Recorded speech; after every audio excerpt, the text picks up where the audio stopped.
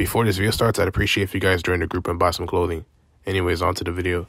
Man, we all know Roblox got its history when it comes to bypass usernames, but god damn, son, this shit takes the fucking cake. So I was just casually scrolling on Twitter, right? A tweet appeared on my timeline from a user named Zaz. And I'm telling you, when I saw that image, I knew I had to make a video immediately. So take a look at this right here.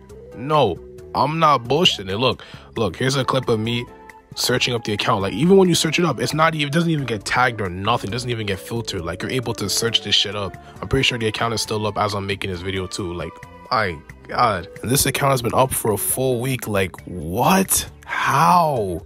You see what I'm talking about, man? Instead of these people focusing on fixing the flaws in their system, they decide to focus on a FaceTime feature that nobody is going to use, man. But hey, it is what it is.